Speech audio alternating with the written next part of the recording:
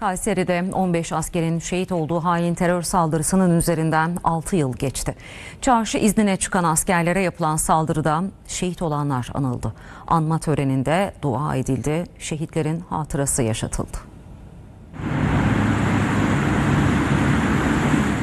Tarih 17 Aralık 2016. Kayseri'de PKK'lı teröristler çarşı iznine çıkan 1. Tugay Komutanlığı'nda görevli askerleri taşıyan halk otobüsüne saldırı düzenledi. Patlayıcı yüklü araçla yapılan terör saldırısında 15 asker şehit oldu.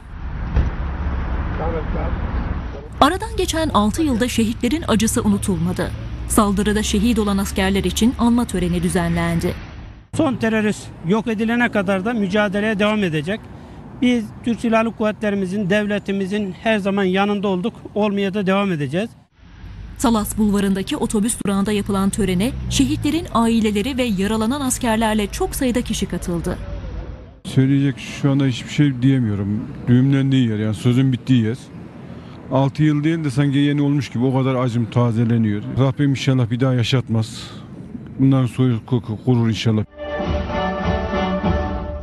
Törende saygı duruşunda bulunuldu, İstiklal Marşı okundu, dua edildi. Kayserililer şehit ailelerini yalnız bırakmadı.